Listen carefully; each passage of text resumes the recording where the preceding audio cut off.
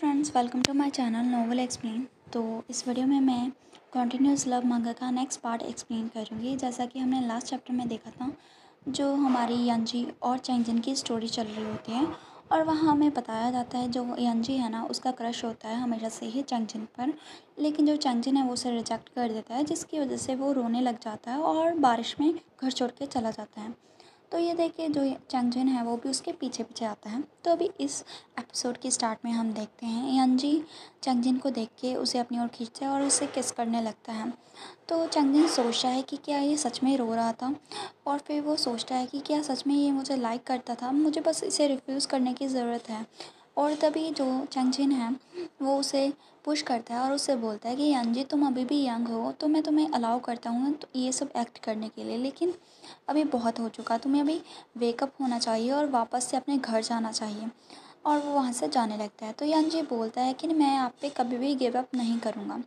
तभी से जो मतलब चैंगजिन है ना, उसने यंजी के वर्ड्स को सीरियसली नहीं लिया था और वो हमेशा ही उसे अवॉइड करता रहता था। कभी किसी ट्रिप पर, कभी किस ट्रिप पर वो घर पर ज़्यादा नहीं आता था और जब भी वो आता था तो यंजी वहाँ पर होता था। लेकिन यंजी ने गिव अप नहीं किया होता, वो हमेशा से उसका वेट कर रहा होता है और फिर हमें बताया जाता है जो एक दिन जो चैंगली है और ल्यूथर दोनों ही अपनी शादी की बात करते हैं और वहाँ पर जो उन दोनों के अंकल होते हैं मतलब अंकल यान और जो चैंगली के फादर, दोनों ही बात करते हैं कि हम तुम्हारे और यंजी के बीच में जो एंगेजमेंट थे, वो सिर्फ़ एक जोक था। तुम इसे सीरियसली मत करो और इसके अलावा उस पर्सन के साथ हमेशा के लिए रहना जिसे तुम लाइक करते हो, वो बहुत ज़्यादा ज़रूरी है। इसके अलावा नेक्स्ट वीकेंड पे मैं तुम्हारे लिए एक बैंकुट अरेंज करूँगा। और यहाँ पर ये सारी चीज़ें सेटल हो जाती हैं।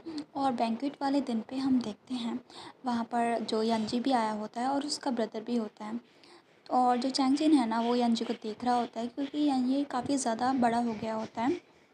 जिसकी वजह से जो चैंगजिन है ना, वो उसे अभी पहले बच्चे की तरह ट्रीट नहीं कर सकता।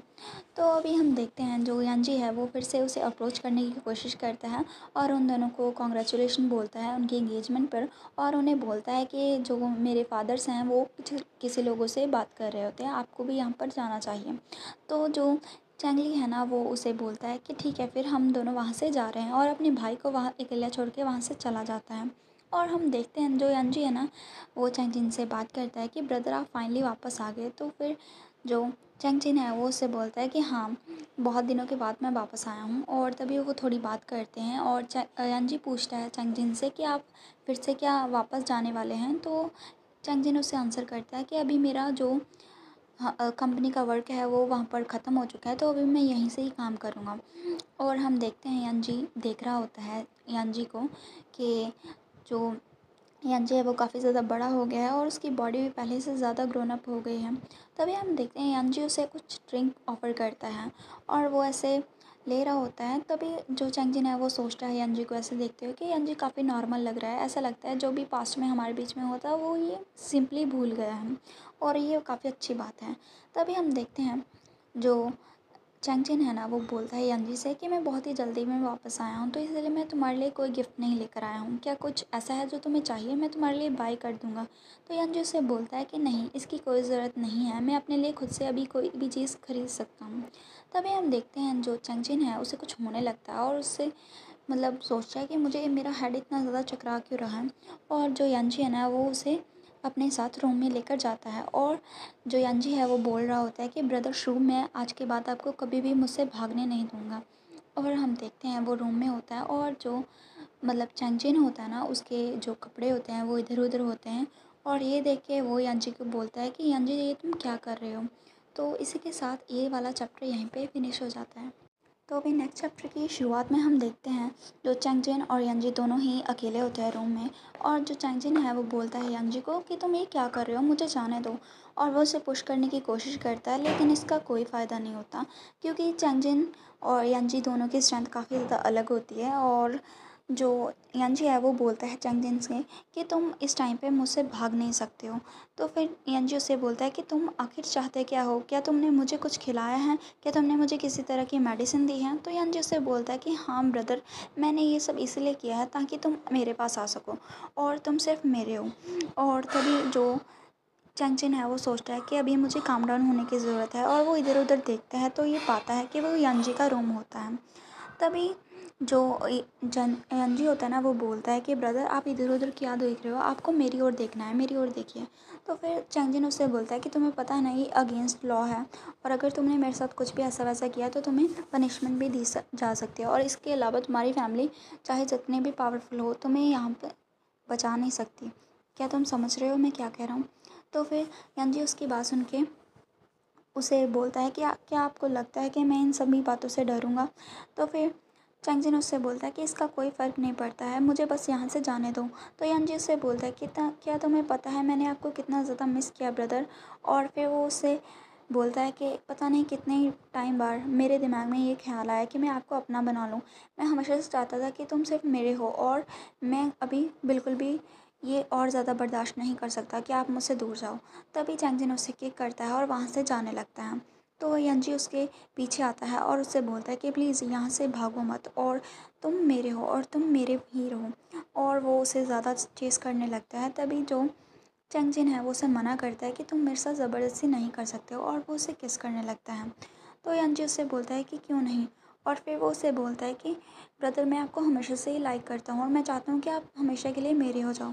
तो जो चैंगजिन है, वो उसे पुश नहीं कर पाता और तभी हम देखते हैं वहाँ पर उसका गेट ओपन होता है और वहाँ पर उसके फादर आ जाते हैं। तभी जो चैंगजिन है, वो यंजी को पुश करता है। तो जो, और वो एक्सप्लेन करने लगता है अपने फादर को ये सारे सिचुएशन तो उसका फादर उससे बोलता है कि जल्दी से ड्रेसअप करो और बाहर आओ। और वो वहाँ पर जो यंजी है, उसे अच्छे से सोफ़े पर लटाता है और वहाँ पर उसे छोड़कर वहाँ से चला जाता है। तभी हम उन दोनों को गाड़ी में देखते हैं। उसका फादर चैंगजिन को बोलता है कि, तुम्हारे और यंजी के बीच में क्या हो रहा है? अगर मैं वहाँ पर टाइम पे नहीं आता तो क्या तुम उसके साथ? तो फिर चैंग जिन अपने फादर से सॉरी बोलता है। तभी उसका फादर उससे बोलता है कि, क्या उसने तुम्हें फ़ोर्स किया? अगर उसने ऐसा किया भी है तो फिर मैं तुम्हें बता दूँ। तुम्हें उसके रिपोर्ट करने की ज़रूरत है और उसे मैं खुद से देख लूँगा। उसकी फैमिली भी उसको इस बात के लिए पनिशमेंट से नहीं बचा सकती। तुम्हें पता है ना? तो फिर वो इतना सीरियसली बोल रहे होते हैं तो चंगजिन सोचता है कि अगर फादर इस टाइम पे बहुत ही ज़्यादा एंग्री हैं, अगर मैंने उन्हें सच्चाई बता दी कि यंजी मुझे पसंद करता है तो वो यंजी को वहाँ से भगा भी सकते हैं। नहीं, ऐसा नहीं हो सकता क्योंकि यंजी ने प्रॉब्लली ये इसीलिए किया होगा क्योंकि वो ड्रिंक था और अभी वो यंग भी है तो मैं नहीं चाहता कि उसे पनिशमेंट मिले और वो भी मेरी वजह से। तो फिर वो अपने फादर को बोलता है कि नहीं, उसने मुझे फ़ोर्स नहीं किया। तो फिर उसका फादर उससे बोलता है तो फिर क्या है? क्या तुम सच में उस किड से प्यार करते हो? ऐसा कैसे हो सकता है? तुम्हें पता है ना, वो तुम्हारे ब्रदर की एज का है। इसके अलावा तुम दोनों की एज डिफरेंस पता है क्या है? तो फिर चैंगजिन उससे बोलता है कि, फादर प्लीज़ मुझे पता है कि मैं गलत हूँ, लेकिन मैं आइंदा से कभी उसके पास क्लोज़ नहीं जाऊँगा। तभी उसका फादर उससे बोलता है, ठीक है फिर, तुम्हें अभी मैरिज करने की ज़रूरत है। कल ही मैं तुम्हें किसी पर्सन से इंट्रोड्यूस कराऊँगा ताकि फिर तुम, तुम्हारे लिए मेरी जो चिंता है वो थोड़ी शांत हो सके और मैं रेस्ट अश्योर्ड हो सकूँ। तो फिर जो उसका फादर की बात सुन के चंगजिन को मानना पड़ता है। तो इसके साथ ये वाला चैप्टर भी फिनिश हो जाता है। सो नेक्स्ट चैप्टर की शुरुआत में हम देखते हैं जो चैंगजिन है, उसने अपने फादर की बात मान ली और वो तभी से ब्लाइंड डेट पर जाने लगा और एक बार वो ब्लाइंड डेट के साथ आया था अपने और उसकी ब्लाइंड डेट उसे एक जो डेज़र्ट शॉप है, वहाँ पर लेकर गई थी और वहाँ पर वो क्या देखता है? वो जैसे ही वहाँ पर ऑर्डर करने वाले होते हैं तो वहाँ पर यंजी आता है और यंजी उसे अप्रोच करता है। तो फिर चंगजिन उससे बोलता है कि यंजी तुम लॉन्ग टाइम नो सी और तुम यहाँ पर क्या वर्क करते हो? तो फिर यंजी उससे बोलता है कि हाँ ये मेरी फ़र्स्ट डेजर्ट शॉप है। तो जो उसकी ब्लाइंड डेट है ना, वो उसे बोलते हैं कि, तुम इतनी यंग एज में एक स्टोर मैनेजर भी हो, तुम बहुत ज़्यादा अमेजिंग हो। तो फिर जो जी है, वो उससे बोलता है कि, ब्रदर, क्या ये आपकी फ्यूचर मैरिज पार्टनर है? और वो उसे देखता है और स्माइल करता है। तो चैंगजिन सोचता है कि इसकी आइज़ क्लियरली स्माइल नहीं कर रही हैं। तभी वो अपनी पार्टनर को बोलता है कि, मुझे थोड़ी देर के लिए वॉशरूम जाना है तो आप अभी चूज़ कर लो कि आपको क्या खाना है। तो फिर वो वहाँ से वॉशरूम में चलता है और वो सोचता है कि क्लियरली अंजी की आँखों में मैंने देखा था, उसने अभी तक मुझ पर गिव अप नहीं किया। मुझे कुछ ना कुछ फाइंड करना होगा ताकि मैं उसे अवॉइड कर सकूँ। तभी हम देखते हैं वहाँ पर जो यंजी है ना, वो आ जाता है और वो वॉशरूम का गेट है, उसे बंद कर देता है। तभी जो उसका भाई होता है ना मतलब चैंगजिन वो उसे बोलता है कि अंजी तुम क्या चाहते हो मेरे से?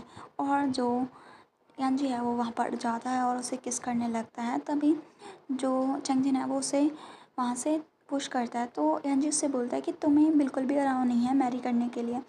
तुम, तुम्हें बिल्कुल भी अलाउ नहीं है किसी और से कांटेक्ट करने के लिए जब तक कि मैं तुम पे गिव अप नहीं कर सकता। क्या तुम्हें पता है ना, अगर तुमने ऐसा किया तो फिर मैं क्या कर सकता हूँ? तो फिर चंगजिन उससे बोलता है, ठीक है, फिर मैं तुमसे प्रॉमिस करता हूँ कि मैं अभी किसी और से नहीं मिलूँगा, लेकिन तुम भी मुझे प्रॉमिस करो कि तुम अभी मुझे हरास नहीं करोगे। तो फिर यांजी उससे बोलता है कि हाँ ठीक है फिर। तभी उन दोनों के में डील हो जाती है कि चैंजिन किसी और से नहीं मिलेगा मैरिज के लिए, और जो यांजी है वो उसे हरास नहीं करेगा। तभी से जो यान जी है, उसकी बात सुन के चंगजिन ने अपने ब्लाइंड डेट को रिजेक्ट कर दिया होता है, बल्कि उसे बहुत ही अच्छा सा गिफ्ट भी प्रिपेयर करके दिया होता है, ताकि वो नाराज़ ना हो। उसी की वजह से जो उसके फादर हैं, उससे बहुत ही ज़्यादा डांट पड़ती है, लेकिन चंगजिन कुछ भी नहीं बोलता और वो ऐसे ही कंटिन्यू करता है और ना ही किसी से मैरिज करता है। और इसके अलावा यंजी ने भी अपना प्रॉमिस निभाया था। ना ही वो मतलब प्राइवेसी में उसके साथ कभी भी मिलता था, बल्कि बैंकेट में ही वो कभी ना कभी मिलते थे। अदरवाइज़ उन दोनों के बीच में कुछ भी नहीं होता था। और ऐसे ही चलते चलते एक बार जब जो चैंग फैमिली है, वो बैंक हो गई, तभी से जो चैंग चिन है, उसकी हालत मतलब ठीक नहीं होती है। और यंजी ने उसके लिए एक अट्रैक्टिव कॉन्ट्रैक्ट भेजा होता है और उसमें वो उसे अपने साथ काम करने के लिए बोल रहा होता है। तो चंगजिन सोचता है कि मुझे पता है, ये कोई ऐसे ही नहीं है। वो ज़रूर मुझसे क्या चाहता है, वो मुझे पता है। और फिर वो उस मैनेजर को मना कर देता है कि मैं अभी तक उस पॉइंट पे नहीं भेज मतलब पहुँचा, जहाँ पर मुझे मेरी बॉडी को सेल करना पड़े। तो फिर हम देखते हैं, वहाँ पर जो चंगली है ना, वो अपने फेवरेट जो ज्वेलरी पीस है, वो अपने भाई को देते हैं कि, भाई, आप ये सब सेल कर सकते हैं हमारे फादर की सर्जरी के लिए। और चैंगचन सोचता है कि मेरे एक गलत फैसले ने पूरा बिज़नेस बैंक पर लेकर आ गया। मैं और इसके अलावा जो चंगली है, उसे काफ़ी ज़्यादा अच्छे से मतलब ज्वेलरी पीसेस वगैरह बहुत ही अच्छे लगते हैं। अभी उसे ये सब गिव अप करना पड़ रहा है सिर्फ़ मेरी वजह से। मैं अपने भाई को ऐसे नहीं देख सकता। मुझे ज़रूर कुछ ना कुछ करना पड़ेगा। और ऐसे ही मतलब उनकी हालत ठीक नहीं होती है तो फिर उसे यंजी के पास जाना ही पड़ता है। और वहाँ पर वो मैनेजर के पास जाता है और वहाँ पर वो एक फ़िल्म कंपनी होती है और वो उसे बोलता है कि अगर मैं कुछ भी एक्ट करने के लिए जा रहा हूँ, जब तक कि आप मुझे मेरी मनपसंद पेमेंट नहीं दे सकते। तो फिर वो उनके बीच में थोड़ी सी बार्गनिंग होती है और वो दोनों मान जाते हैं एक पॉइंट तक। और इसी के साथ ये वाला चैप्टर भी फिनिश हो जाता है।